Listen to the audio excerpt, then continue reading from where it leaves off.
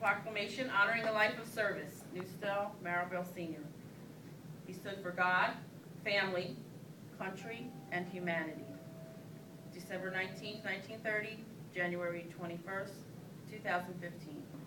The life and accomplishments of Newstell Marable Senior have reached beyond the borders of our region.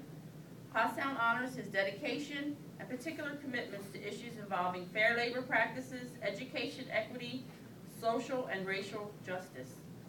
These are just a few areas where his tenacity, his tenacious engagement has gained recognition in the nation's capital, in our state, and right here in Pottstown. Whereas Mr. Marable was a family man, husband, and a practitioner of his faith.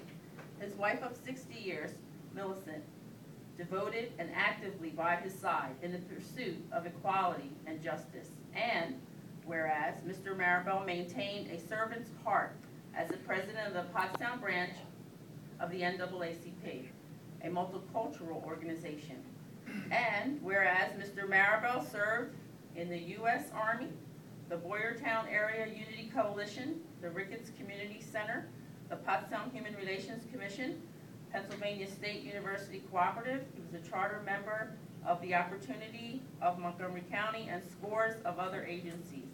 And whereas Mr. Marable taught us that we must never fear the open and honest discussion of any issue. So I have, um, I'm encouraging everyone in Pottstown for a continuance in every heart of pursuing equity and just, and it, equity and justice for the advancement of all humanity. If you don't mind stepping over here.